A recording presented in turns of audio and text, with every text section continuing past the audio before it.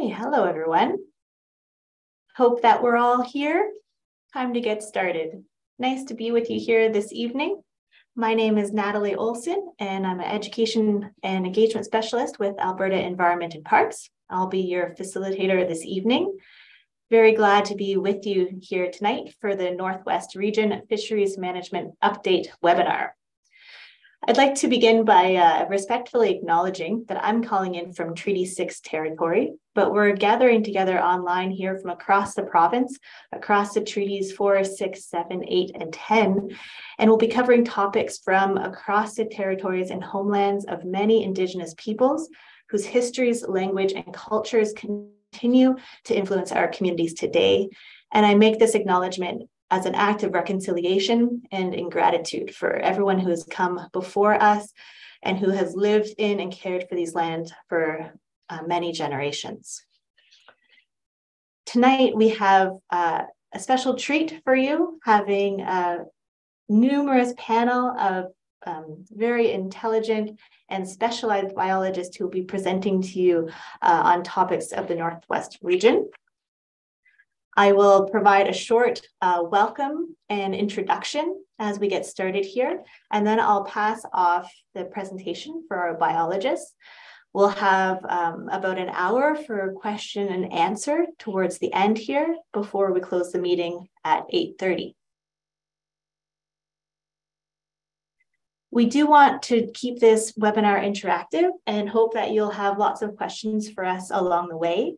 We'll be using the Q&A box that you'll be able to find on your screen. If you're on the computer, it might be across the bottom bar. If you're on your tablet or cell phone, it might be on the side or within the app. But you'll find that question and answer tool, and we'll be using that um, to ask the questions. So as we go along, you're welcome to submit questions at any time. And you can also upvote for the questions that you'd really like to see answered. We may not have time to get through all of the questions tonight, so we will prioritize the questions that have the most votes and are highest on the list. You'll be able to see that um, in the Q&A box, you can uh, change if you want to see the questions that are most recent or most upvoted. So you can adjust that at any time to see the questions and use that little thumb in order to upvote them. I'll remind you of that as we get in towards the question and answer period, but just know that you can ask those questions anytime. If you have any inappropriate language or comments in those questions, we'll have to delete them, but I don't expect that to be a problem.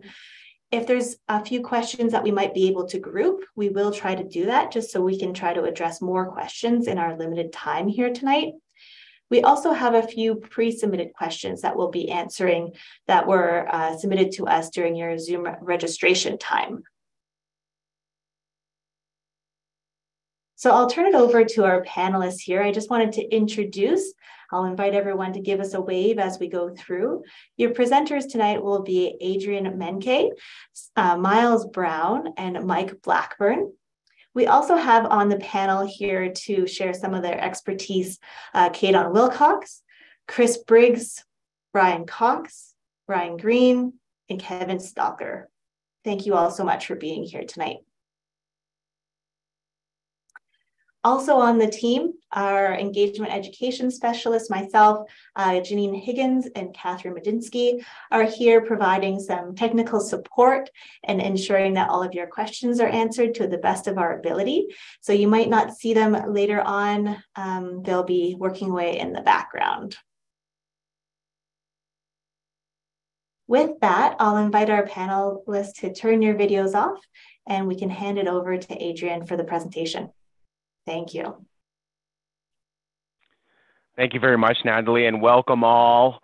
This is going to be a special night. Thank you for sharing the next couple of hours with us. Uh, today, we thought we'd share some updates, some interesting pieces of work that we've done here in the Northwest region over the last year. Um, and we'll talk about regional lake assessments. We picked a few of our favorites, walleye stocking, what we've done in the Northwest to contribute to the provincial initiative, and what we in the Northwest do to contribute to native trout recovery. We have a couple of points to discuss. One is the Muskeg Watershed Assessment, And number two would be the McLeod River assessment. I'll start us off with a regional lake assessment on Smoke Lake. To put us in the spot, Smoke Lake is just southwest of Fox Creek off of Highway 43. This past year, we were able to get up to two, two really exciting things. One was a spring trap net, and two was a fall index netting. And we were combining those two pieces to do a population estimate. We were success, successful at marking just about 5,200 walleye and releasing them back into the lake and following up with the fall index netting for the recap. This is to support the evaluation of recovery. And just to remind us all, in 2016, Smoke Lake was deemed high risk after three consecutive sampling events showed a decline in walleye density. So in 2018, we put to catch and release regulation in the lake to allow it to recover. And uh, happy to report we've had a couple of monitoring events showing continued signs of improvement. In 2020, we raised up to a moderate risk category. And this past season in 2022, we're out in the low risk category for walleye density. There's signals of recovery. So before I get started, I'd like to lay out the graph is on the right. These are length distributions of fish. There is four time slices monitoring data, 2013, 16, 20, and 22. On the top, you see some cartoon characters, and from the left, you have babies. So anything on the left side of these graphs are small, young fish. All the way over to the right side, you have the old folks, and everything in between. I overlaid some yellow bars just to show us uh, to anchor our eye. And those yellow bars are overlaid across tag categories. So you see the blue vertical bar is class C, class B, and class A. If we look in 2016 in the class C tags, we see a pretty good reduction of fish those each individual black bar is the number of fish in that size category. So those bars are really starting to be shrunk. When we look in 2020, we see that we filled in that section. We filled in the number of fish in the Class C tags. So in 2021, we went out to the public of Alberta and asked them what they would like to do. Offered them, we could give you a small bit of harvest at this point in time, or we could allow recovery to continue and those fish grow into this larger size category. The participants of that survey decided that uh, they thought it was best to allow them to grow in and fill in a little bit of that class B, the larger size category. And in 2022, happy to report that we seem to have done that. In overall, if you just look at both years, 2016, most of that red circle is empty. Those bars are quite short, but in 2022, we've seen a fill in of those fish. And on top of that, we've seen a very strong pulse of young fish outside the size categories coming. So what I expect in the in the near future is increasing in angler success. And this data set, these analyses is fresh off the presses. I still have some homework to do to, to put together some regulation options. I hope to be back out and present this data next year so we could look at um, how to manage into the future. With that, I'd like to pass it over to my colleague, Miles Brown. Thanks, Adrian. Uh, I'm going to take a few minutes uh, here, folks, to talk about Fawcett Lake. Uh, for folks that haven't been to Fawcett before, it's a 3,400 hectare lake uh, located about 45 minutes east of the town of Slave Lake uh, and just north of the community of Smith. Uh, next slide, Adrian. So the two main species I'm going to talk about in Fawcett Lake right now from our assessment work are northern pike and walleye. The first slide here, uh, I'm going to talk about northern pike for a little bit. So at, at this point in time, uh, northern pike are underneath a recovery objective. Uh, their current regulation in the 2022 fishing season was catch and release. Uh, we put catch and release on the fishery in 2020 uh, after the survey, the uh, survey in 2019 had indicated a decline from previous years. The graph you see on the left-hand side here, uh, each of the black bars that's there represents the average adult catch rate for pike in our index nets. Uh, and the uh, years along the x-axis, the bottom uh, axis of the graph there are the years in which we had those surveys. So if we just take a second, zoom back out from that, look at this through time, we understand that pike have kind of been bebopping around uh, in that low abundance, high to very high risk category for a period of time. Through that time, they've had a couple different regulations, all of them harvest regulations. We've had a few other management actions at Fawcett Lake through time where we were hoping to see positive returns in terms of fish abundance from those decisions. We hadn't. And so following that 2019 survey, conclusion was let's move to a recovery period, catch and release.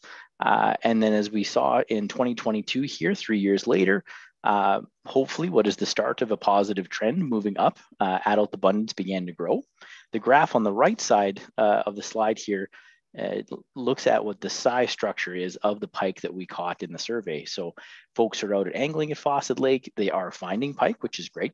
Doesn't mean that they're not there, just means that they're below the target that we would like to see them at in terms of being able to offer them for harvest opportunities, whether that's for sustainable harvest or a quality harvest. So there's uh, a, a cohort of fish that we see present there representing two to three year classes between 50 and 60 centimeters, but less fish uh, that are still present in that population over 60 with some signs of recruitment coming in. Our goal is to return Fawcett Lake back to uh, an abundance, middle of the road, moderate risk for sustainability, where it will afford that harvest opportunity again. And so when we complete our next survey uh, in two to three years, hopefully we'll have seen that abundance continue to climb. We'll have hung on to those fish as there's no harvest mortality uh, at this time. They should continue to recruit and grow older. And then with recruitment filling in, uh, our hope is that we will see uh, Northern Pike come back up and we'll be coming back to the public to talk about uh, regulation options for harvest. Next slide. Changing gear, so you know, pike uh, not uh, still underneath recovery action, work to do there. Uh, walleye, different story. Uh, so walleye were underneath the recovery objective uh, for about 11 years. Uh, that began after the 2011 survey, where we put SHL, or what we call the tag program, in place. Uh, and through that time, we have seen sort of persistent but slow recovery and recruitment.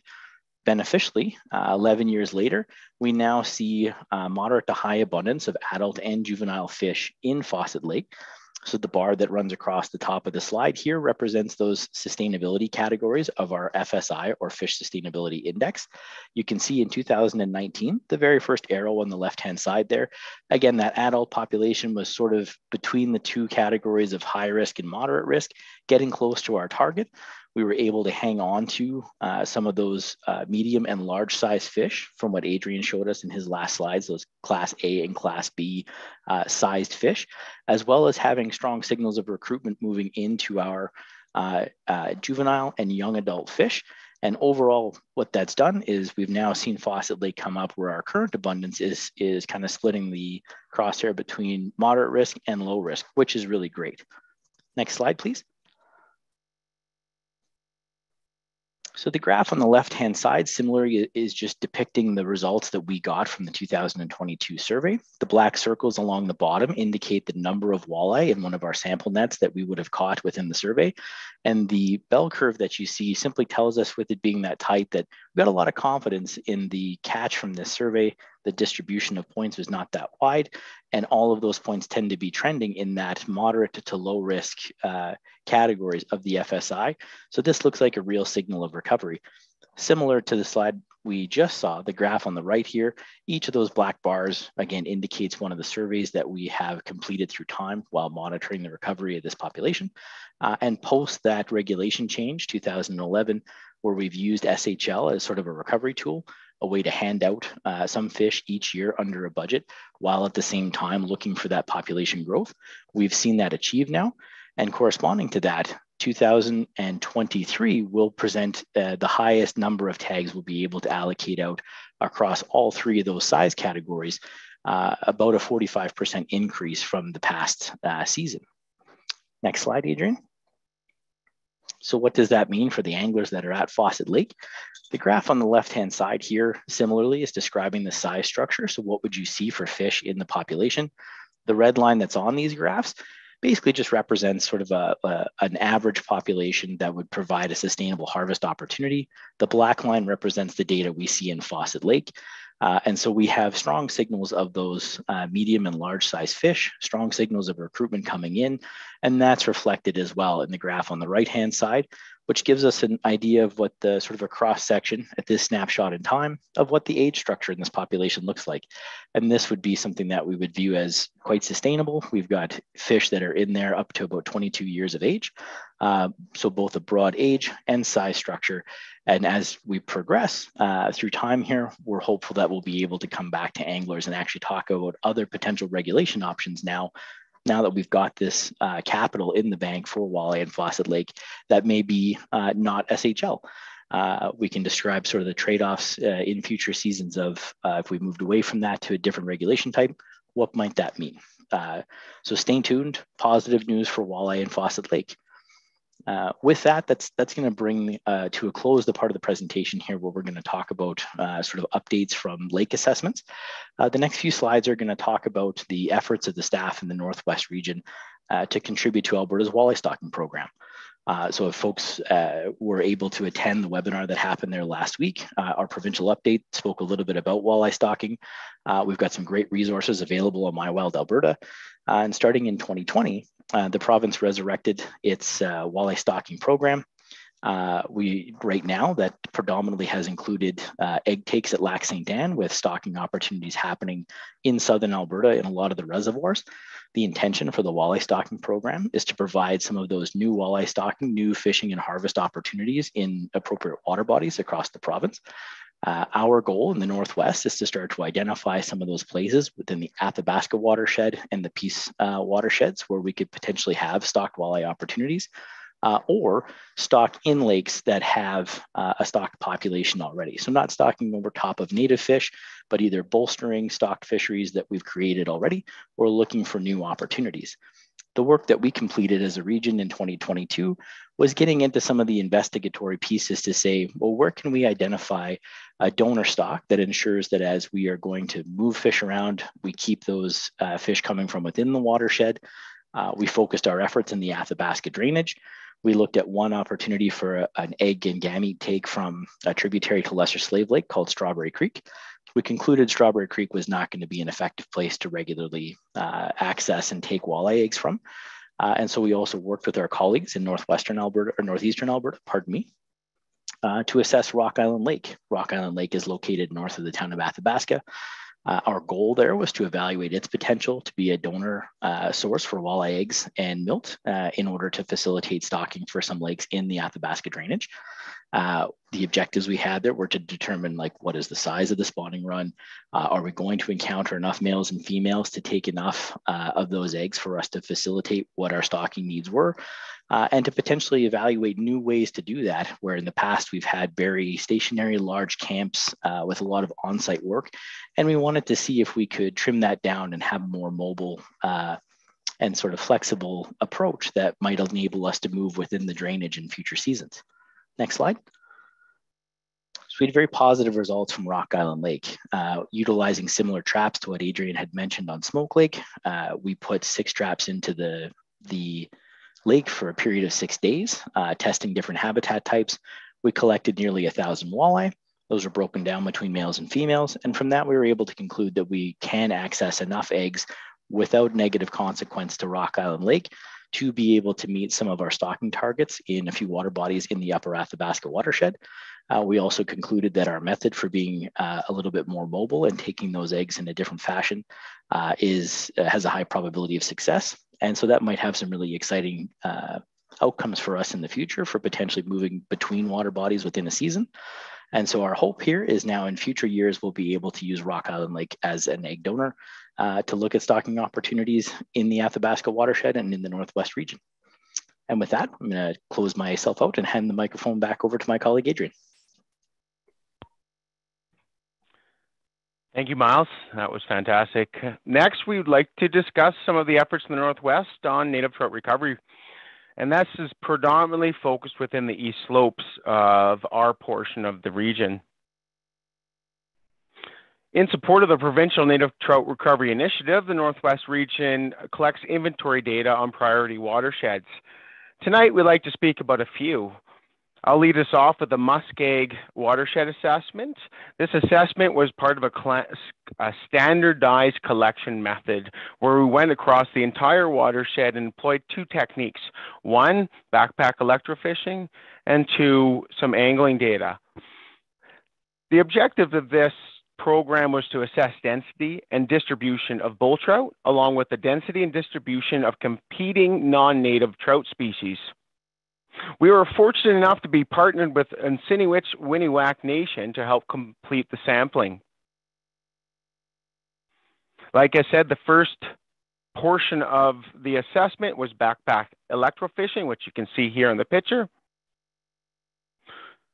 We completed 35 electrofishing sites and the map to the right, if you just focus your eyes on the black dots or X's, it'll give you an understanding of the distribution of those sites across the watershed. In total, we captured 439 sports, sport fish species, which comprised of 60 bull trout, 126 rainbows, and 253 brook trout. And one thing I might add with this backpack electrofishing work, we're really sampling the small streams and tributaries to the big water. So what we see here is predominantly non-native fish species uh, making the majority of the catch. The bit of the opposite was true in our angling assessment. This is the technique we use to assess the larger water. That's a little bit harder to get some of our more traditional e-fishing uh, sampling platforms in. We were able to complete 20 main stem angling sites. And if I draw you back to the map, please just focus on the red X's or dots gives you an idea of the distribution of sampling sites for this phase of the program. In total, we captured 111 sport fish, 78 of which were bull trout, 17 rainbow trout, and four brook trout.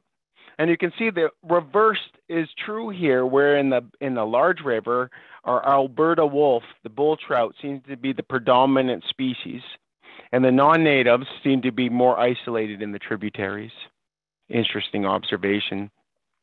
In general, we got ourselves uh, another standardized data set. I think this is number two for future trend analysis to be able to track these sport fish populations through time. We now understand the distribution of non-native species and competing species within the watershed, and we're going to use this data to assess future potential recovery actions. Our goal is to continue partnership to assess the recovery and also to identify habitat issues as we move forward. Now it's time for me to hand the microphone over to my colleague, Mike Blackburn, to lead us through the McLeod River assessment. Thanks, Adrian. Okay, let's talk about the McLeod River. So similar to what Adrian discussed, uh, next slide, please, Adrian. Awesome, thank you. Uh, so similar to what Adrian discussed, Standardized assessments have also been completed in the McLeod River watershed over the recent years. And as many of you probably know, the McLeod River suffered a sizable fish kill in uh, July 2021. Uh, we experienced extremely high air temperatures combined with abnormal low flows, and this resulted in water temperatures that proved to be lethal to many fish. We received many public inquiries and concerns regarding floating fish in the McLeod River, most of which, which were mountain whitefish and some suckers. So tonight, I'm going to focus on the McLeod River mainstem fish assessment and more specifically mountain whitefish. So the objective here would be uh, to complete, to compare the current catches, so after the summer kill uh, and to previous year catches before 20 the 2021 summer kill. So let's look at some of the results. The McLeod River watershed is assessed and managed as two subwatersheds. So we have the upper watershed and the lower watershed. I'll start with the upper McLeod, which is the river section from the headwaters of Cadomin downstream to Highway 47, just southwest of Edson here. So on the screen is a graph showing fish size, distribution, and catch. Along the bottom of the graph is fish size in millimeters, with fish getting larger as we move from left to right and the height of the colored bars indicate the number of fish in each size category. So the higher the bar, the more the fish in that size category. So when we compare the 1998 gray bars uh, to the 2006 red bars, we can see that the width and the height of the bars are quite similar, meaning similar sizes and numbers of whitefish per kilometer. So moving into the kill, uh, it seems like a fairly stable position or uh, fairly stable popula population, sorry. Uh, but however, when we compare to, next slide, please, uh, 2006 uh, to the 2022 bars, uh, after the kill, surprisingly, they are also quite similar. So all in all, we're, we're unable to detect the negative effect from the 21 summer kill in the upper McLeod section. What we can say is that the relative abundance of mount whitefish appear to have been hovering at a moderate to high risk state at the time of all of these assessments. So now let's look at the lower McLeod. So, sorry, just catching up on my screen here. The lower McLeod River section is uh, from Highway 47 just southwest Edson, and it flows downstream uh, to Whitecourt where it flows into the Athabasca River. So looking at the same graph, we can see that mountain whitefish data sets in 2013 and 2021, both prior to the kill, appear also to be similar in width and height of the bars. So again, meaning similar sizes of fish and numbers of mountain whitefish uh, per kilometer.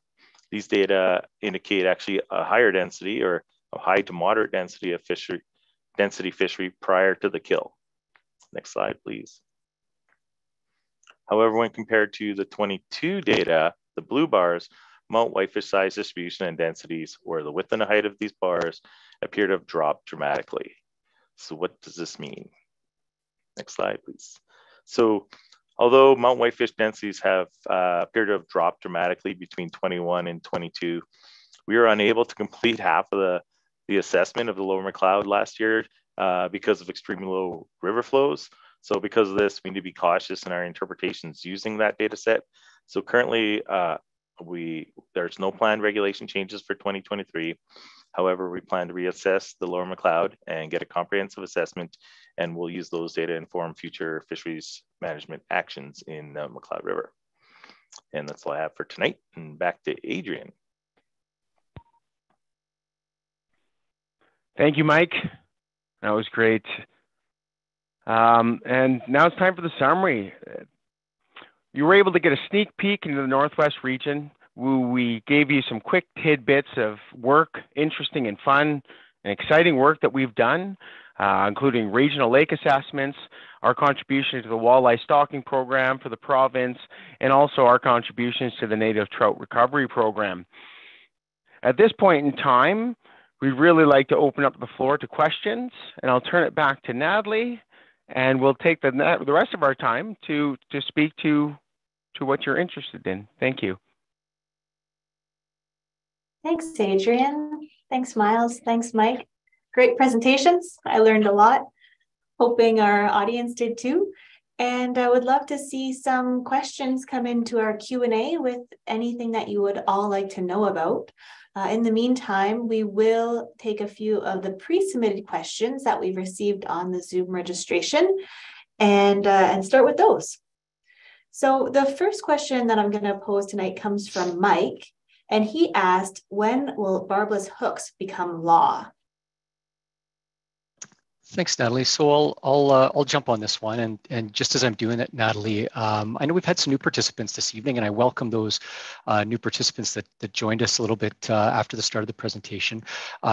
Natalie, I'm going to try to remember your words here, and I'm just going to ask folks that they can uh, navigate down to that Q&A bar uh, at the bottom of there and click that open and, and submit a question on there. And of course, if they see a question uh, that they'd like to see answered, that they can just hit the upvote uh, tab on that as well. So for any folks joining late. So, um, so I'm not sure if uh, Mike's on the line here tonight, Natalie, so I'm going to thank him for that question for submitting it. Um, Mike, the, the question of barbless hooks is, uh, is, a, is a quite common one. we also understand that uh, the application of barbless hooks is something that a number of Albertan anglers or Albertans are interested in seeing implemented in some of our fisheries.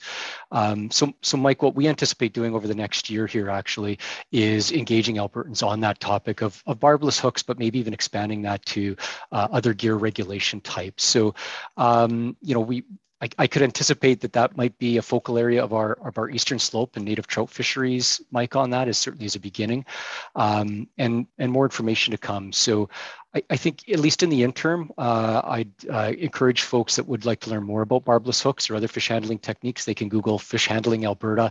Uh, our My Wild Alberta website will come up, and we've got a, a, great section on fish handling techniques. And for Mike and others to just stay tuned. Uh, probably later this this year in 2023, we look uh, we look forward to it initiating uh, a discussion with Albertans on on barbless hooks and other gear types. So back to you, Nat. Thanks, Kata. Next question comes from Daryl. He's wondering what is happening at Wadlin Lake. Uh, thanks for your question, Daryl. Um, yeah, at Wadlin Lake, uh, as you may know, uh, last year we did do a presentation on uh, the results of the uh, the survey of the lake, which found that uh, walleye were at a um, high risk to sustainability. after consulting with the public, we decided to um, implement special harvest license, SHL, uh, some limited numbers, uh, which would um, still allow the recovery to occur, but also uh, provide some harvest opportunity. Uh, and I, you can uh, refer back to actually to the, the webinars online if you kind of want to refresh with the details on that. Tags will continue to be used on that lake uh, for the next three to four years uh, for sure, at which time it will be reassessed. And then uh, we will hopefully see uh, some recovery like we've been presented there at uh, some of the lakes tonight. And we can uh, come back out and see what some of the options are for um, regulation changes. Thanks, Chris. I had uh, two questions come in that I'm going to group because they're about Fawcett Lake from Miles and Greg. They the first question is I live at Fawcett Lake and would like to know when pike fishery will be reopened. Pike numbers are high in all age classes. And the second question from Greg was what is the timeline for changes to the walleye regulations for Fawcett Lake?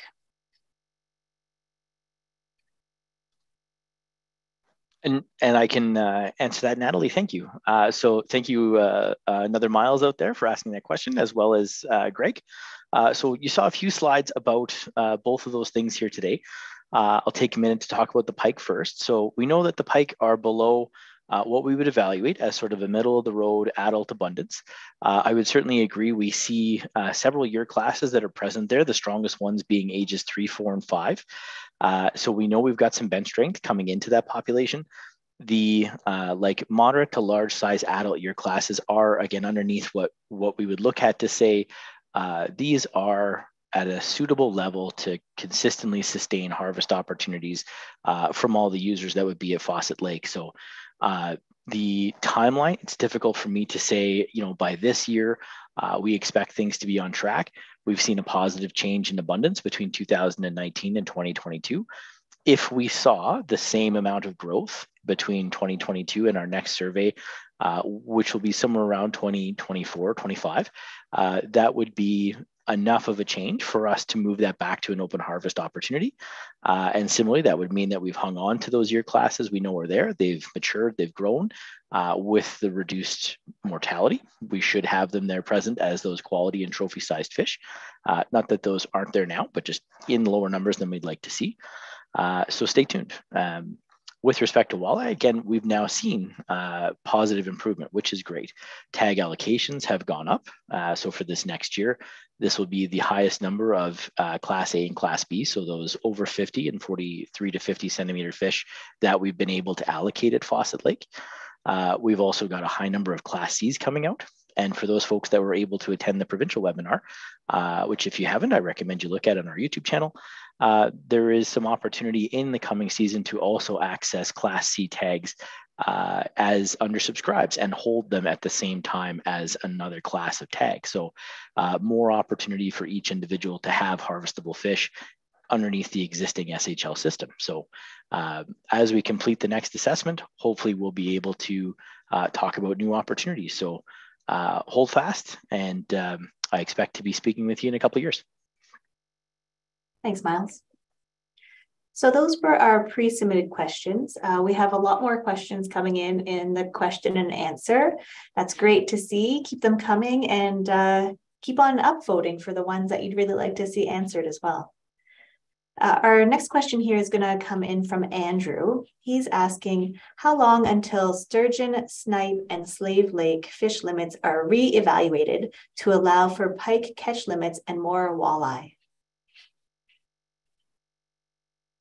All right, so I'm going to take that. Andrew, Andrew, thank you for that question. Yeah, that's a that's an interesting question. In terms of like an exact timeline, I don't think I'd be able to give you the answer, but this is the benchmarks or the measuring sticks that we had used to start to consider when that time was right.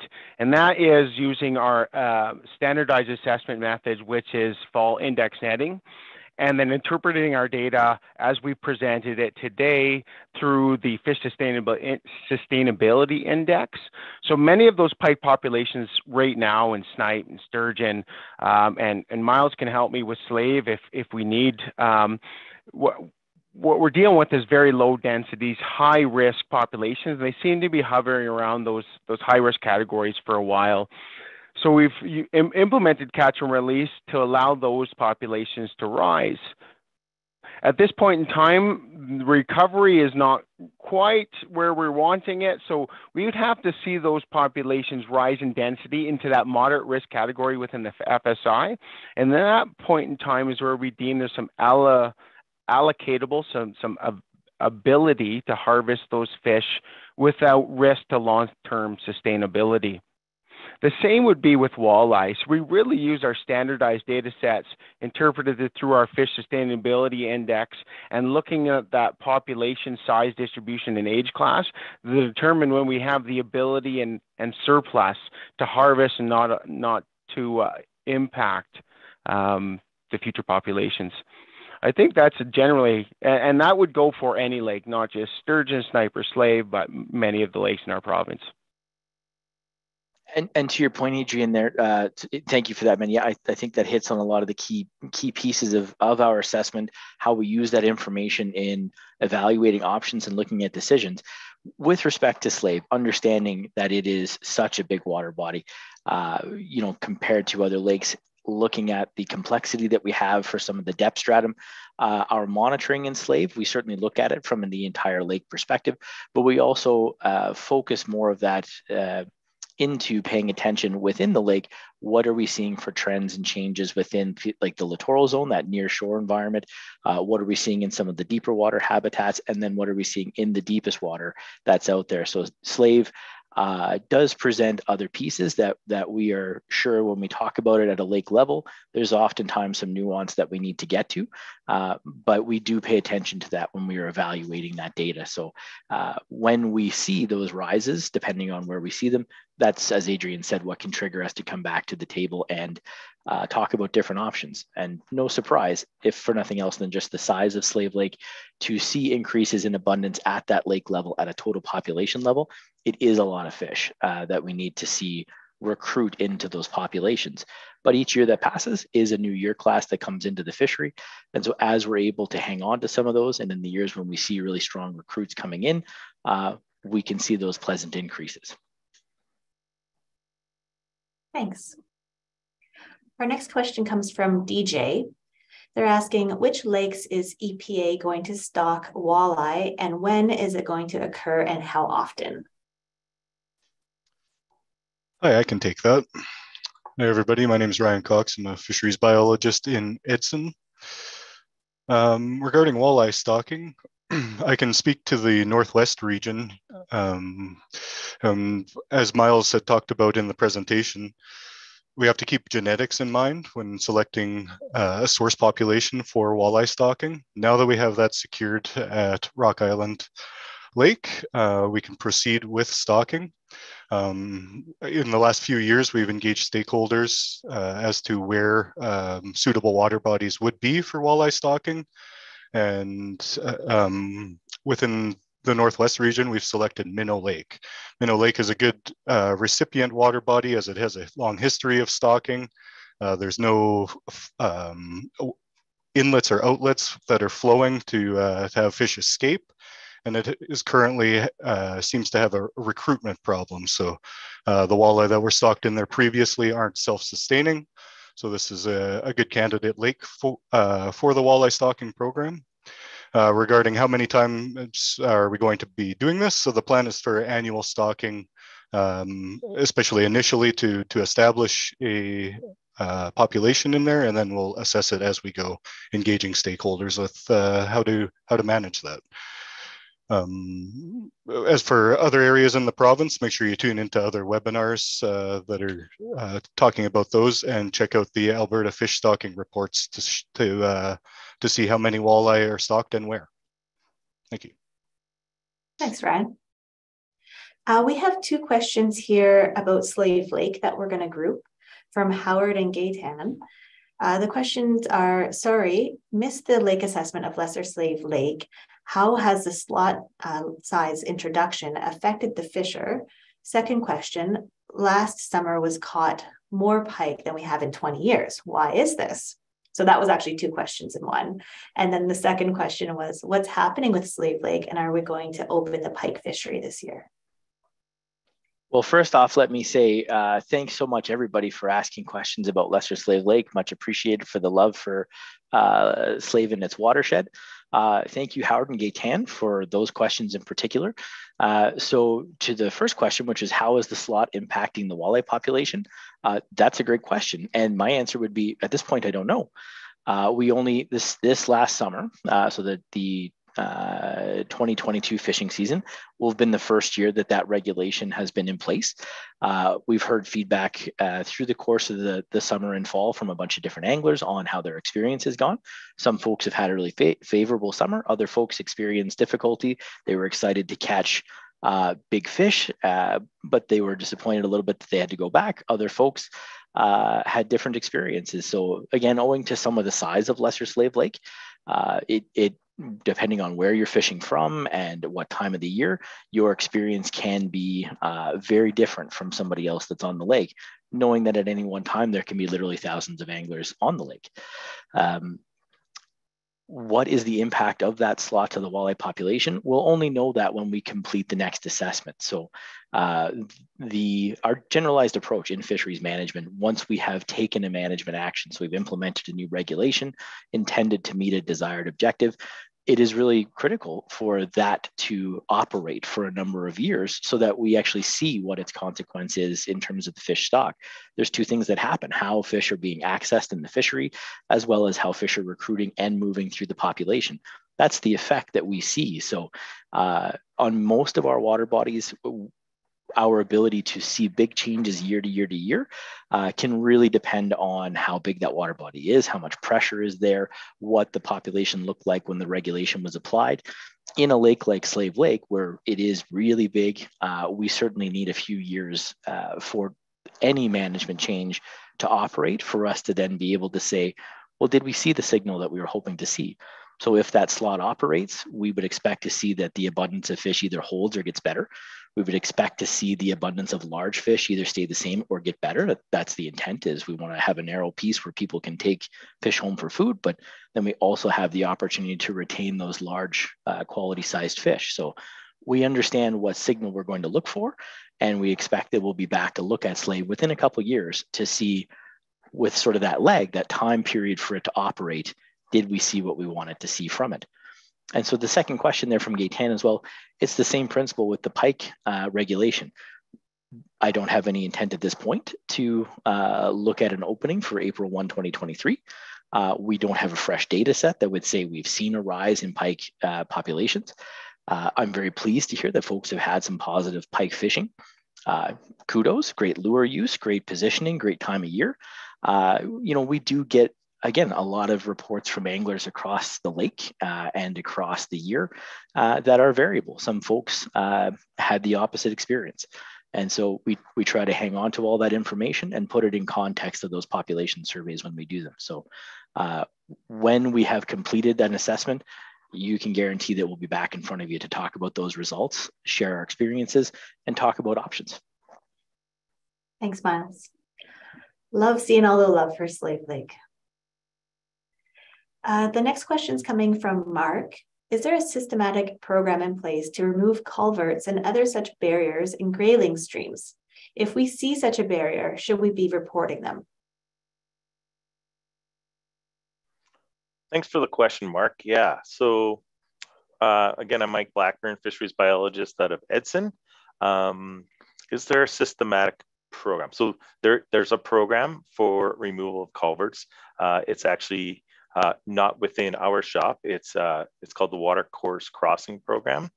Uh, there's so what it is is basically working together with uh, different companies and such to get an idea of what kind of crossings are out there, where the barriers are, and then working on remediation plans uh, with with with the government, uh, with Alberta um, AER, which I can't tell you what AER is for right now. I don't know why, but so um, upstream oil and gas, uh, Alberta Energy Regulator. So what it is is basically coming up with remediation. So it's not just grayling streams, it's any barriers within tributaries. Um, specifically to uh, grayling streams, though, what I could say in, in our backyard here in Edson is things like the Berland River and the, um, the Wild Hay, which do have grayling in, are very, very high priorities in the province. I think they're number one and two for replacing uh, poor culverts and such. Um, the second part of your question here, oh, that there is an app that I know that they have with the Water Course Crossing Program. If you go to their link, you could find it. They do have, so it, it's as simple as going on and carrying the app with you and identifying uh, crossings and such. So I, I, believe they have it so that it, uh, other folks can do it as well as, as workers, but that would be a place to check there. Thanks for the question. Thanks, Mike. A question from DJ here. Why is EPA not transferring walleye from Haig to Swan Lake? And what would the fishery be like today if this was done 15 to 20 years ago?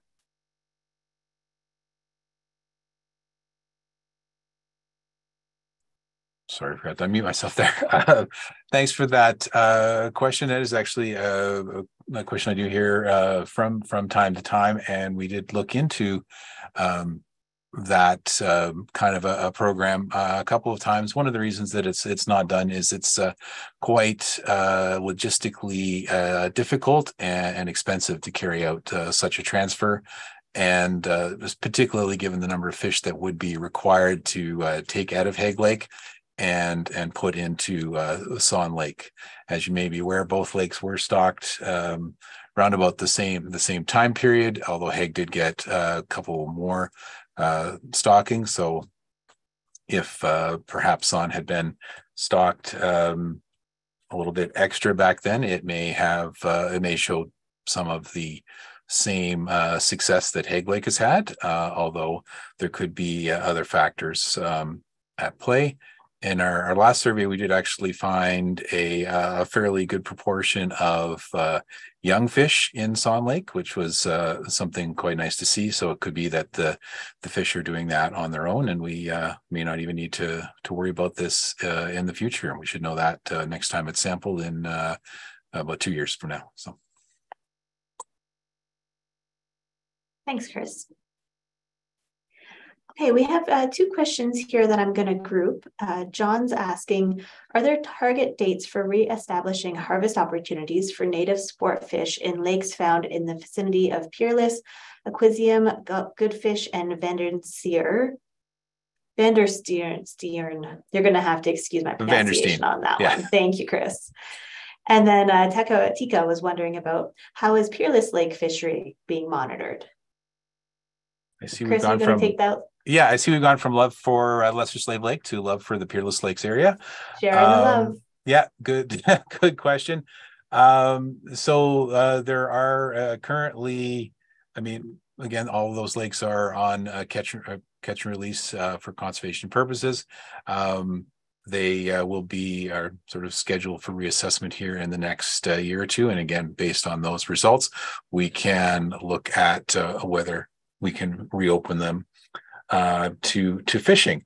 Um, I see, and then uh, same for Peerless Lake. Peerless Lake is a bit um, requires a bit of a little bit extra effort because it does contain um, a lake trout population, which requires a monitoring technique uh, different from the other two species that we've uh, pretty much been talking about um, all night here the pike and the walleye and that monitoring program is because of the um, longevity of, of the lake trout is is kind of on a 10 year um, time frame and which would kind of put it up on uh, on this year or even next year as um, as likely. So we uh, do kind of uh, monitor things like you know get reports from from anglers and from the officers up there uh, to sort of see and i mean it is obviously a little bit anecdotal but uh, all accounts uh, point to uh, some certainly some good success in in peerless for for the lake trout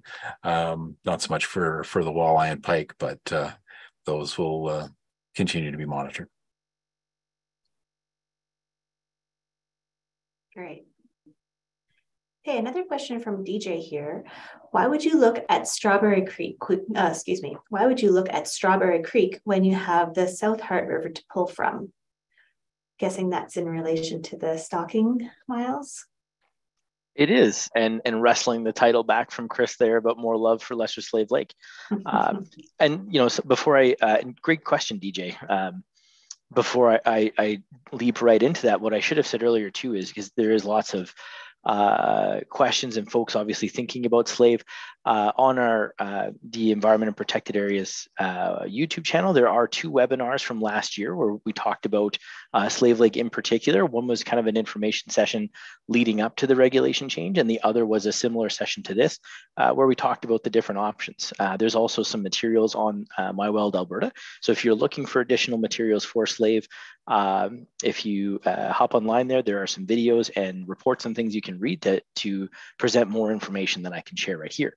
Uh, with respect to your question, DJ, which is a great question. Uh, so the South Heart River, for folks that are um, aware for Lesser Slave Lake, performs an incredibly valuable function for the spawning habitat for walleye in the lake.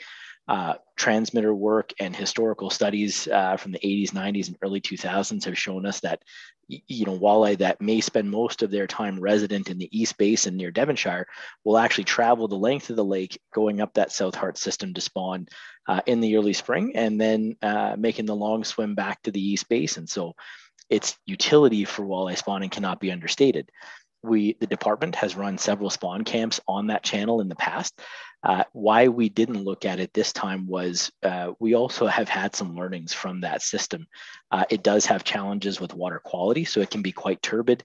Uh, it's very difficult to control for that. So in the past, they've had to have like different sluice tanks that were there to allow the water to settle out before being used in the containers where we would put the fertilized uh, eggs, or else it can result in, in um, higher than what we could accept mortality on those eggs.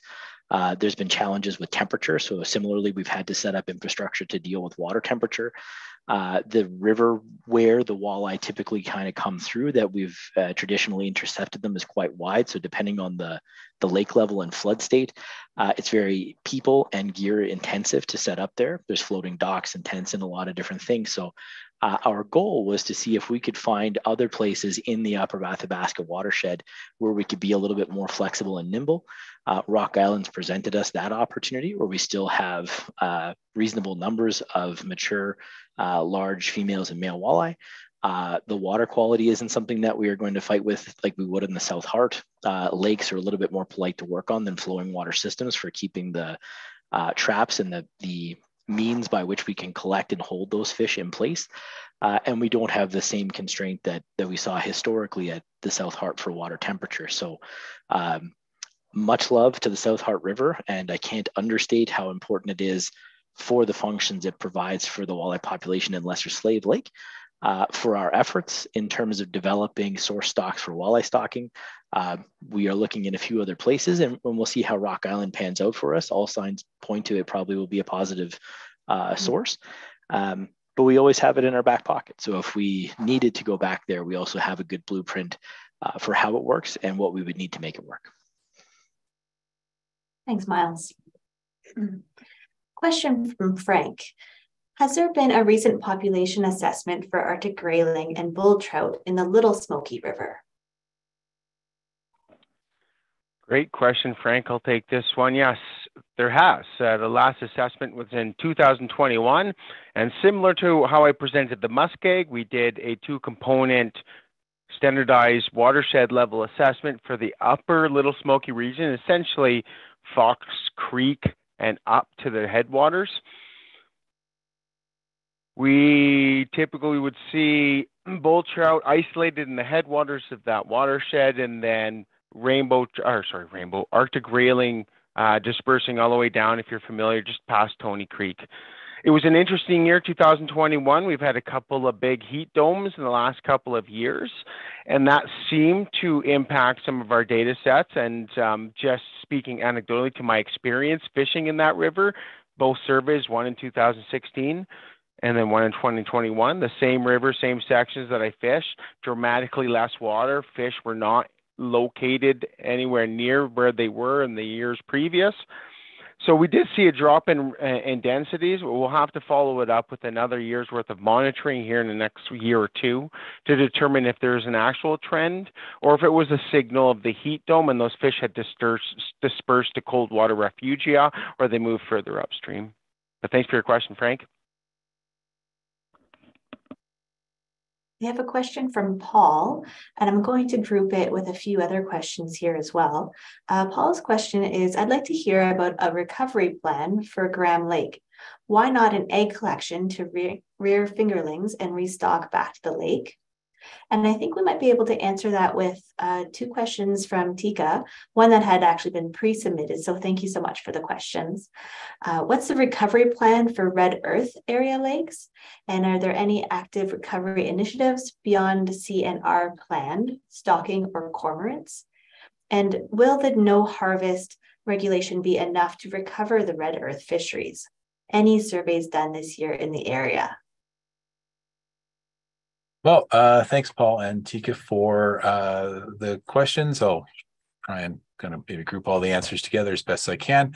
Uh, as far as uh, Graham, or uh, known as also known as Trout Lake, uh, there is, um, as Miles Brown was discussing a little bit in the during the presentation itself, the collection of of walleye eggs is just kind of uh, getting going again. Uh, sort of in this case, to conserve the genetics, it would, as you say, have to be a uh, sort of a lakeside um, uh, program. Um, currently, that's um, not really uh, in in the cards uh, so much for that. Um, again, quite a little bit more logistically difficult. We have to make sure that all of the um, material that you know it's the same genetic material going back the our native walleye in the lake, so we couldn't just pull um, eggs from uh, another source.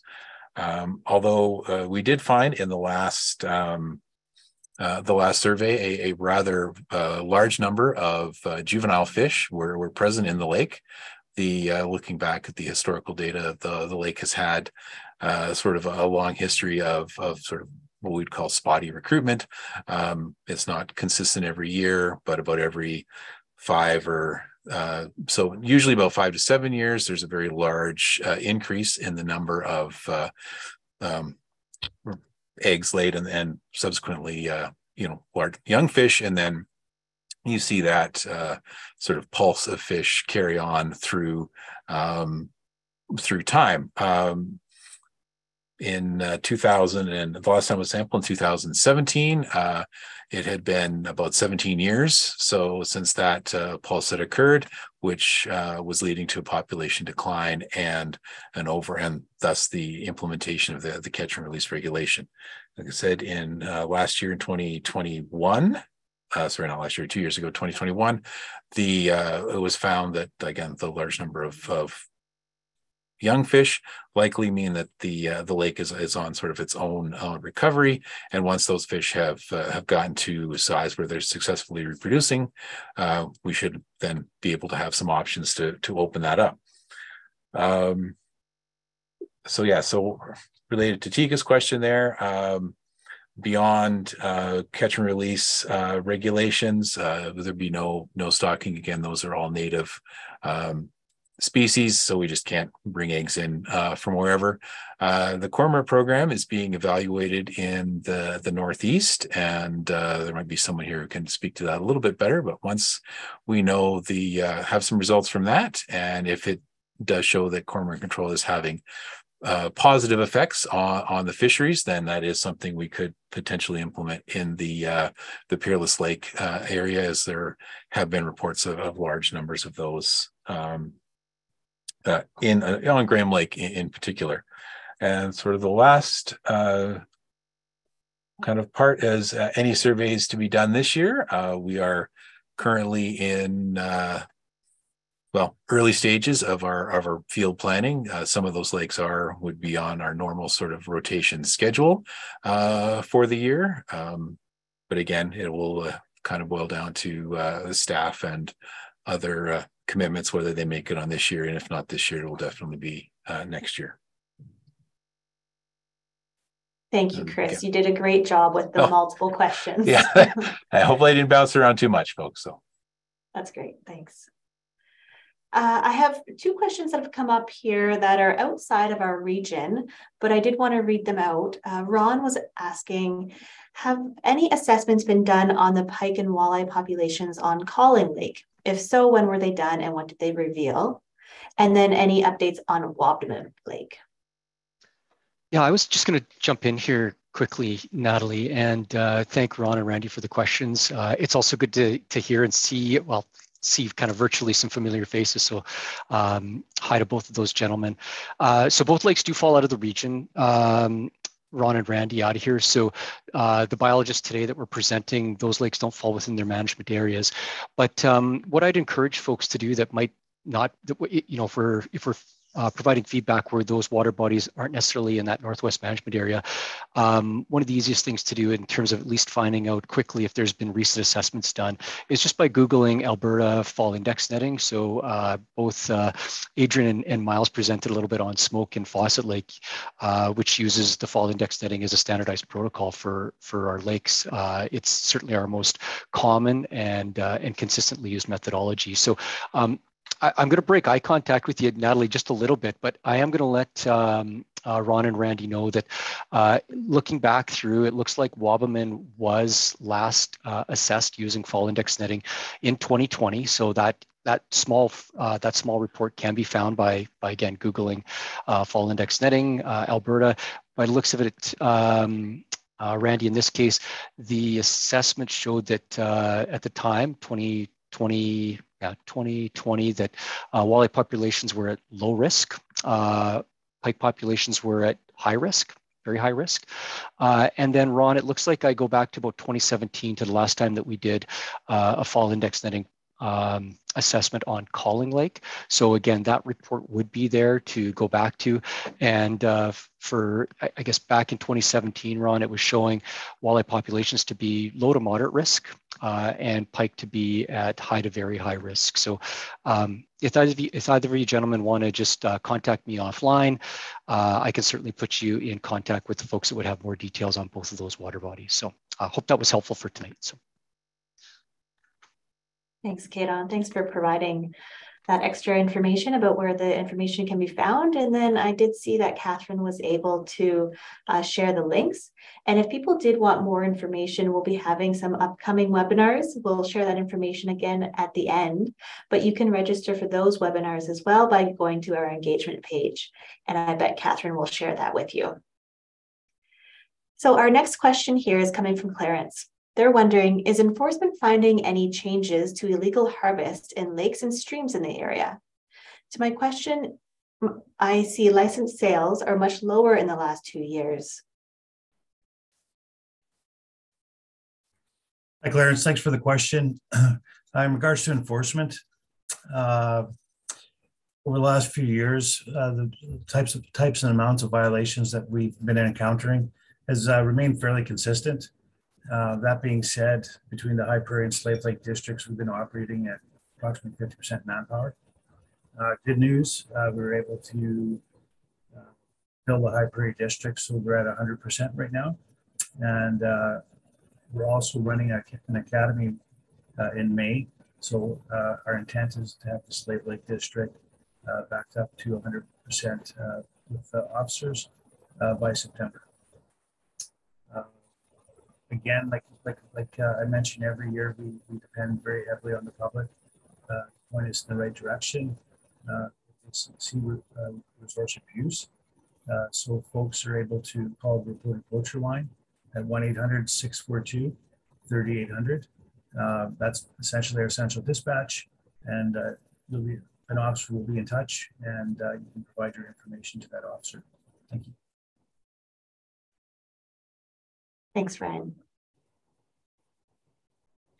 Uh, the next question here is coming from Carl. You assess the Muskeg River watershed and have collected population data for future studies on native trout. Were you able to compare it with any previous population assessments, or are they really comparable based on previous studies? What is the FSI score for bull trout in the Muskeg watershed? Yeah, thanks, Carl. Great question. Um, this was the first watershed level assessment done under the, the standards in which we employ for the native trout recovery program. However, there's been previous ACA studies, and I am currently going through that data to determine uh, and analyze it in, in, in a manner as if it was collected in the standards. There's enough sampling points across the watershed. That work is still in progress. Uh, that's going to feed into our trend analyses over time. In terms of bull trout right now, they hover in that high risk, very high risk category, very high risk in terms of juveniles, high risk in terms of adults. Not too surprising. Similar story for bull trout across the province.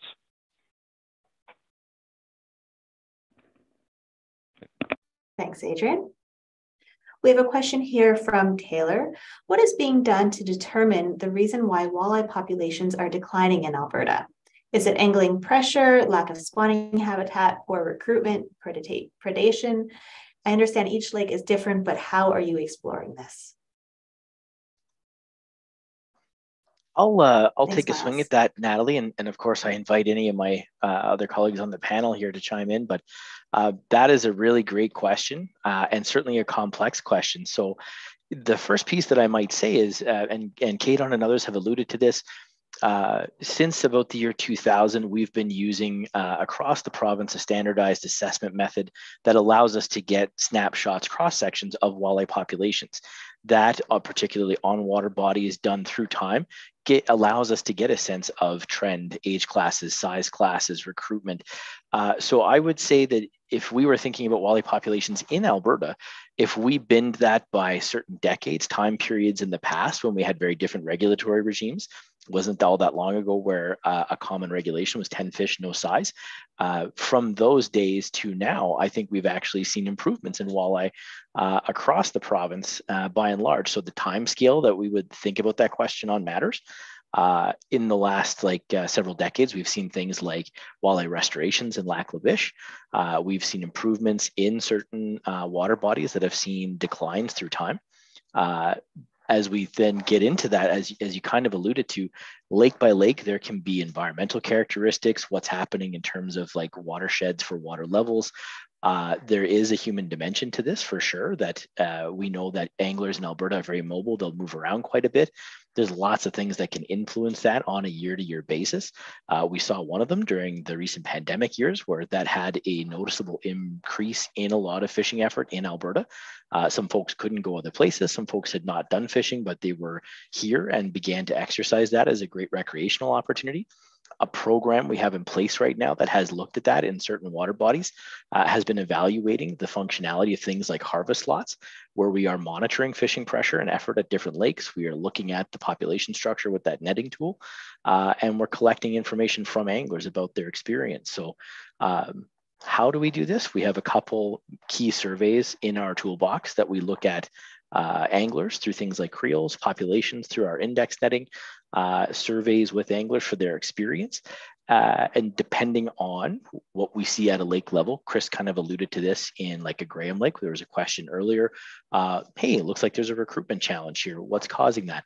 That might be a very particular uh, assessment to go, why do we have a recruitment problem here? Um, other lakes might be there are no walleye that were present there. We've been able to use stocking to create one of those kind of put, grow, take harvest opportunities. And if that fishery isn't self-sustaining, we're able to top it up with stocking through time. Uh, other systems like Lesser Slave Lake, uh, in and of itself, uh, I have heard stories from folks when they either if they grew up here, they came here in the late 70s and early 1980s. Walleye were very rare at that time period. They had gone through several decades of decline.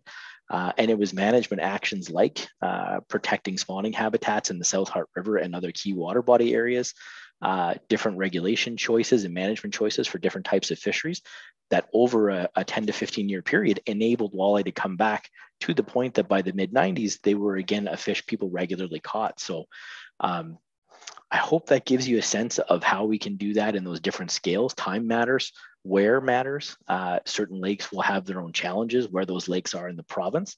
Uh, and then the species uh, certainly presents on a case by case basis some things that we do look at. Thanks, Miles.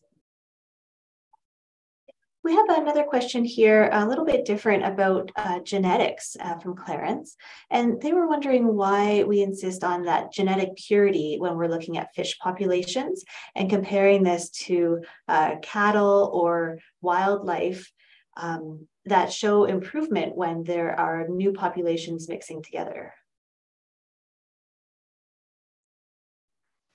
Uh, great question. Uh, Mike Blackburn here again from uh, Edson.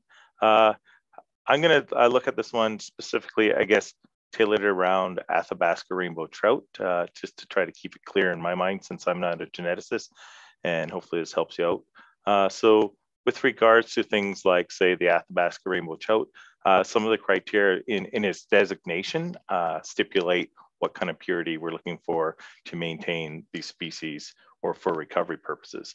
Uh, also, when it comes to things like uh, so specifically for Athabasca rainbow trout, uh, we find that uh, the pure fish tend to be kind of in the headwaters. Uh, they, they seem to be well adapted to these cool streams. And we're even seeing that some of the, the, the hatchery fish that are in the system that we have stocked throughout the past and, um, and, and, and even more recently don't even tend to hybridize with some of these, these pure fish in these streams in absence of barriers. So there's potentially an adaptation there in the pure fish uh, for the small cool streams in the in the headwater streams. So we don't really want to those those genetics aren't watering down right now through hybridization uh, in some of the streams. So we don't want to mess with that either.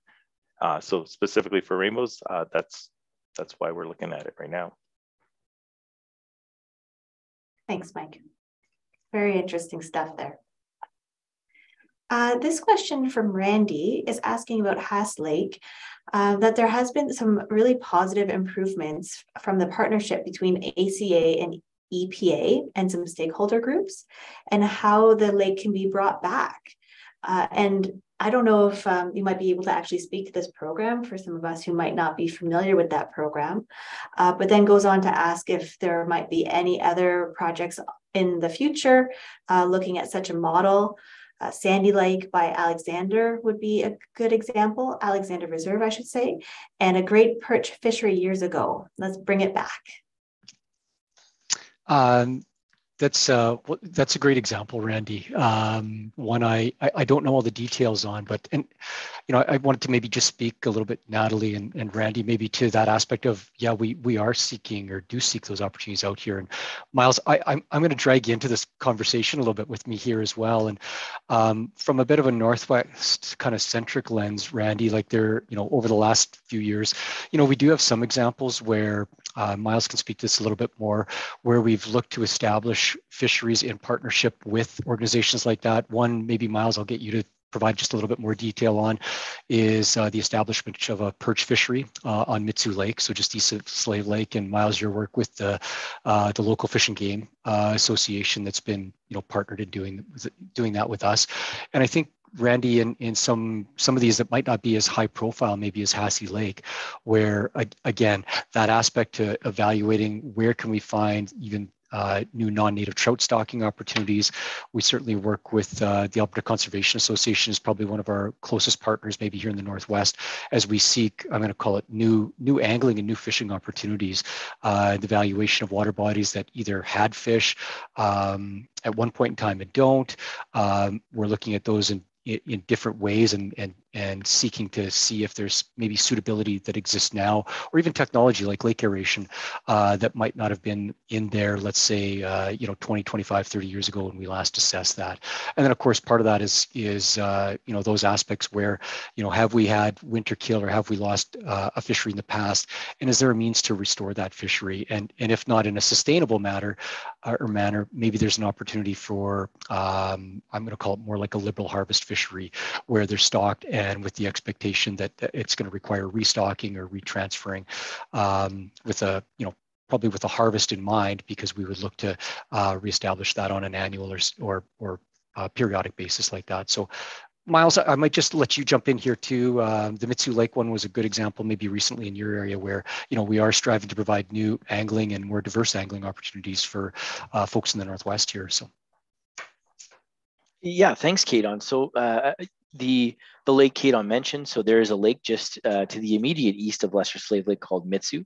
Um, I and many of my peers here in Slave Lake have had conversations with folks like uh, past presidents and current members and presidents of the Slave Lake Rod and Gun Club, uh, other really passionate outdoors folks, uh, members of the Sawridge First Nation, who have said, "Hey, are we? Is there opportunity for us to restore the diversity of fish present in Mitsue Lake with a focus in that discussion on perch?" um, owing to the conversation that we were just having that Mike talked about with uh, importance around certain genetic pieces, and we focused on that even with the walleye uh, in previous answers. We looked at a donor location within the slave watershed uh, where perch were and weren't performing in a manner that was providing a great uh, perch fishing opportunity they were within the watershed of Lesser Slave Lake.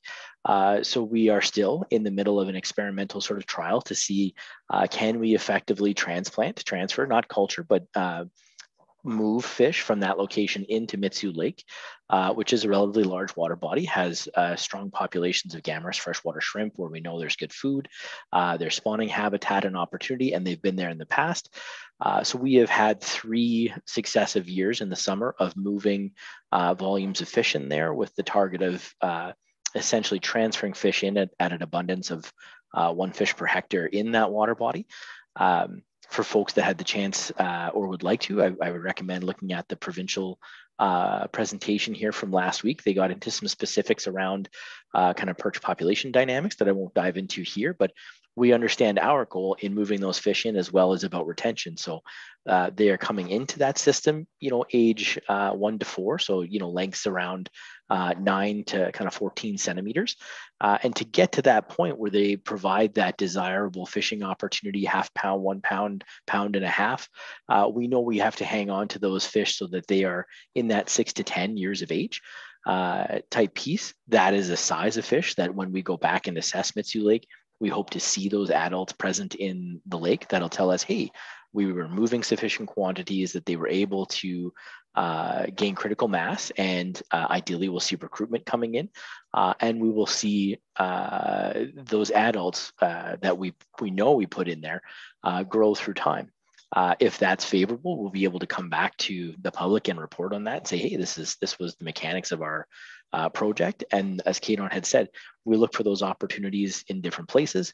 Um, also, uh, you know, appreciating that we don't want to um, spend that effort or those fish in places where the outcome could be questionable. So we had all the right characteristics in Mitsue Lake to uh, give this a whirl. And uh, we, we, to your point, Kayedon, we actually also tried this uh, at the behest of folks who on the west side of the lake uh, had fished Blue Lake many years ago. Blue Lake has been stocked at times in the past with rainbow trout. Uh, it has challenges with oxygen levels that make it difficult for trout to survive in, but are at the level where we expect um, perch a little bit hardier in terms of what they can sustain for temperature and oxygen thresholds uh, could make a run in there. So we have uh, also paralleled this in Blue Lake and uh, look forward to seeing if we if we meet our targets and objectives. Thanks, Miles. And, you know, I just saw an interesting question come in, more of a comment. Just it would be so nice if uh, you all could identify yourselves. And, you know, it wouldn't be too late to start. So, Miles, Kayedon, would you mind just stepping back and reminding the people who you are in case they've missed it at the beginning? Sure. Miles, why don't you go first? Uh, my name is Miles Brown. I'm the senior fisheries uh, biologist here in Slave Lake.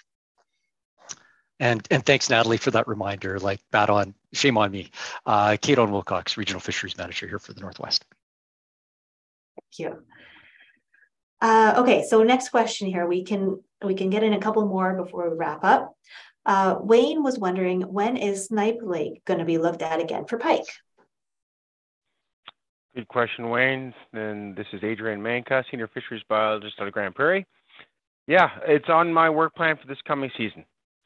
So cross my fingers. I'm really interested to get in there. Uh, one to to look at what the story's going on with uh, one pike as it is catch and release. Walleye, we're starting to see a, a remarkable recovery in a fishery, and then just checking in on the whitefish uh, with this past fish kill. And snipe is a very popular winter whitefish fishery. So uh, back to the answer to your question. Hopefully this fall. Thank you. Now we have two questions here about walleye stocking. Tika was wondering, why is the walleye genetics concern so restrictive compared to most other North American jurisdictions? And then DJ had a question here, if the walleye are not able to sustain themselves in a water body after stocking, has EPA completed a habitat assessment? And if not, why? Yeah, so I was going to maybe try to jump in here uh, on it, Natalie. I'm going to look to my my peers and colleagues here to kind of jump in and and keep me correct. So it's Kayedon here again, uh, Natalie. So thanks, Tika and, and DJ for the two questions. I think they're close. Uh, we'll try to grab them both here together. Um, you know, I, I don't want to repeat Mike, what you provided on the Athabasca Rainbow uh, piece, but there are a little, a lot of similarities. Miles, you kind of spoke to this in the last answer regarding our considerations in yellow perch transfers, and and all of those kind of go part and parcel together. And I, I think the piece that Mike you talked about uh, and Tika how it applies here is is I think you know over time what we found, and we're constantly learning. Uh, we're constantly taking the information that we we get. We're working with um, you know other organizations. We're working with uh, researchers, uh, with academia, you know, and I think the one thing that really comes out is is those aspects of native genetics are still best suited for that environment. So, uh, like within watershed, what we're finding is the success uh, in terms of stocking or transfers uh, is we, we have the evidence to show that that's still they, those those fish or those genetics are still the best equipped to, to provide um, both performance. So that's the the uh, becoming suitable to their background, their growth, their density, their resilience to things like disease, um, to to viral, to uh, all those kinds of aspects that uh, those native species would have built resilience to over the last number of years, and that's reflected in their genetics. Um, I, I, can't speak to all different jurisdictions, uh, Tika and others, like say my colleagues can jump in here. I think it, there's been a, a, a higher growing uh, acknowledgement of that uh, going forward. And I think I'm seeing more and more jurisdictions that are considering, you know, that in when they're talking about stocking or where they're talking about introducing uh, new species or restorative stocking, those kinds of pieces going forward. And more and more uh, hand in hand, um, partnership with with academics with researchers going for that and, and as jurisdictions coming together. The one thing i might say you know eh, going back in my experience too is as we get into the more southern aspects of range let's say walleye for example um, the one thing that Alberta has to consider is our investment in that. And I think uh, folks talked earlier today about how long it takes to grow walleye in, in Alberta. And, and so we're talking about investments of 10 years before walleye start to actually reproduce. And then we look to see how successful that is. That can be another 10 years. And so what we've often seen is, you know, multiple decades to get to where we actually have a self-sustaining walleye population. As we, uh, as I talk to my colleagues in Texas, they talk about how uh, their female walleye spa- are spawning at age two. Um, so the investment is much less. Um, uh, the consideration of that, I think, is still a, a, key in terms of that genetic aspect. But because that investment is lower, uh, how they can start reproducing and, and uh, establishing fisheries is quicker.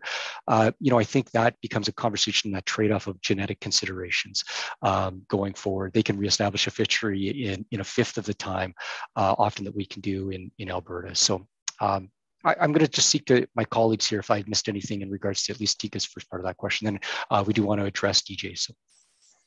The only thing I might uh, add on to that, Kayedon is you know even within Alberta, uh, when we have that consideration in this conversation about genetics, uh, we do look at also, you know, where are we working? What uh, what water bodies are these things going into? Uh, if we're looking at stocking, uh, particularly in some of the reservoirs or impounded systems that are in southern Alberta, the uh, degree to which we need to focus on that genetic piece may not be as high. Where you know, up here we're in the eastern slopes, the boreal systems. Escapement is more of potential risk depending on flood states. These are still still you know natural river and lake type systems compared to some of the other ones in different places and other jurisdictions. Saskatchewan, as an example, would share some of that, where some of their more popular fisheries that are discussed as lakes are, in point of fact, reservoirs. So, uh, what that risk profile is compared, you know, where you're doing it, uh, can shift. It shifts within Alberta, uh, and and it may even shift just depending on what objectives we have in neighboring water bodies around there. So um, I, I, think it's a continuum, uh, you know, in, in stealing words from Kate, uh, on there. Yeah, that's a great addition, Miles. Thanks. Um, and that's what we're seeing even from uh, folks that are aware of our current stocking initiatives that where we're using Lac St. Anne as a base for walleye stocking, uh, raising those eggs from a North Saskatchewan River drainage population, and they're going into South Saskatchewan River uh, water bodies in those reservoirs, as you mentioned, Miles. That that that consequence of that trade-off uh, is is much less in regards to you know the risks that we think about before we put you know uh, certain fish in certain locations. So. Uh, switching over to DJs a little bit here. So uh, Natalie, uh, so it's Kayedon here again. Uh, if the walleye are not able to sustain themselves in a water body after stocking, has EPA completed a habitat assessment? And if no, and if not, why not? Um, Miles, I'm just going to, you know, uh, take your words too, which was on the yellow perch transfer, how important it was for us to to look at that habitat component and confirm that again, that investment of time, uh, the likelihood or probability of success was going to be much higher by looking at the habitat of the receiving body and understanding if it was going to be successful. Um, I think going back, DJ, and again, others will have some other experiences. You know, we have done that. I, I um, Miles, I think of Winagami Lake uh, where we've had sporadic, uh, irregular recruitment, sometimes what I would refer to as recruitment failures on those aspects. And, and we've then looked back again and said, after our initial habitat assessment, you know, we're still having challenges uh, for for uh, regular recruitment. We've tried enhancements in those in some of those places, DJ, as a result of that. That's been mixed success, I think, is how we'd probably characterize that. Uh, going in, I think we, you know, we understand that there is uncertainty uh, sometimes with those habitat pieces. Um, uh, you know, but ultimately, uh, that habitat component is something we really think about on the front end uh, and make that investment worthwhile. So again, I'll back out, see if others have anything to offer uh, before we do there. So thanks, DJ. The only little piece I might add uh, onto that, Kayedon, because I think you hit the nail on the head perfectly there, is is uh, I'd almost pull that into like a concluder of there are no silver bullets. Uh, they are very rare when we are doing these things. So we know these tools can work. Uh, the habitat assessments at Winagami are a great example where there was lots of great work done, uh, conclusions drawn that that were defensible and uh, you know intelligent, were completed on the backside of that. And yet, still, there is that uh, uncertainty and variability in nature that has meant we've continued to see some of those pieces still of uh, years where we have recruitment failures, inconsistent recruitment, um, and some of those things play through. So uh, we can take all the steps, but sometimes still encounter that that concern or that issue. Thanks, guys. I feel like we could talk about that for a while longer, but uh, and Natalie, I, I, will suggest anyone can follow up with any of us on these questions because you're right. We could yeah. have lots of conversations. Yeah. So I'll just uh, try to sneak in one more question here uh, from Mike. With respect to Windfall Creek, he had seen some Alberta scientists a couple of years ago when he was fishing. Is there a study underway on uh, grayling and trout populations there? Hey, I'll take that one, Natalie. Thanks for the question, Mike. Uh, again, I'm Ryan Cox, fisheries bio out of Edson. Uh, there's been lots of love for the Slave Lake and Peace areas here, so nice to uh, speak to the Edson and Whitecourt area. The short answer is uh, no, nothing specific for the Windfall Creek uh, is coming up in the immediate future. Um, but as Adrian and others have, have mentioned here tonight, we do try to uh, do some rotational monitoring on all of our important watersheds.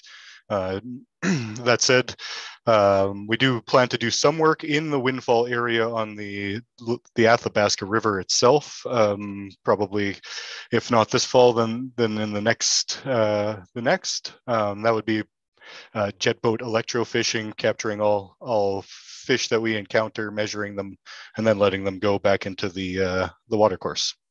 Thanks for the question. Okay, I'm going to sneak in one more question here. Uh, during zero harvest regulations for pike and or walleye in a water body, are other species monitored for population impact, such as perch and whitefish? Uh, uh, thanks, Rob. Chris Briggs here, uh, senior biologist in uh, Peace River, uh, and I guess the short answer to that is is yes, we do uh, capture all those species uh, as part of the um, fall index netting uh, in those, although we don't have uh, set um, thresholds uh, for the populations of those. We do we do monitor uh, changes uh, over time. So, and I do actually have one uh, sort of unrelated question. We did hear one of the things we heard quite a bit is when are you going to be sampling such and such a lake? And I would remind folks online that we actually have several hiring opportunities for the Northwest region if you what you've seen tonight makes you uh, yearn for a career in fisheries, um, head on over to the uh, thank you, Miles. Head on over to uh, the Alberta uh, .ca site and uh, search for jobs. So, thanks, Chris.